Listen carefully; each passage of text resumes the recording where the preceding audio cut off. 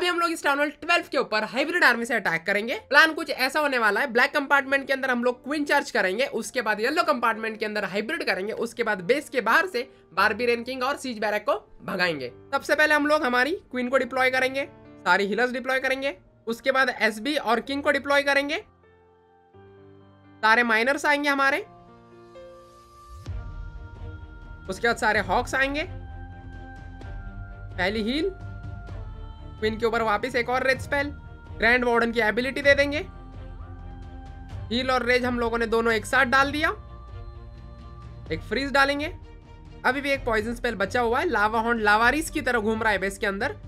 और गाइस देखते ही देखते ये वाले बेस को हम लोगों ने यहाँ पे कर दिया है. थ्री स्टार अभी भी एक मिनट का टाइम है और काफ़ी माइनर है.